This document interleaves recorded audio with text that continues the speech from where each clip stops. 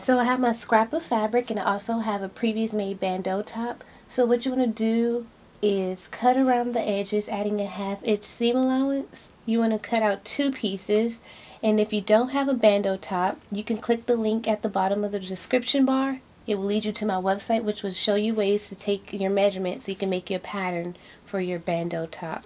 Now I have my two pieces of fabric cut out. We're going to put right sides together. We're going to sew along the edge with a half inch seam allowance and I'll show you guys the next step.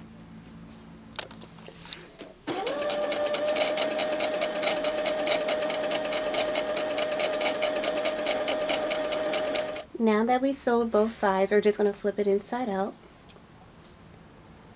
We're going to hem the edges from the top and bottom with a half inch seam allowance so that we don't have any raw jagged edges out. So I just finished sewing around the edges of the bandeau. There are two other ways you can do the middle part. You can do it with the elastic or you can use extra fabric and do like a little mini bow in the middle. We're going to take our bandeau, flip it inside out, fold it to mark the middle.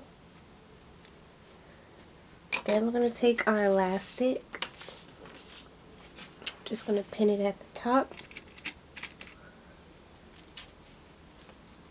Now that we have our bandeau top pinned with the elastic, when you sew down the middle, you want to make sure you're doing a zigzag stitch all the way down. And you also want to pull the elastic as you sew so that you're getting a you scrunch look in the middle.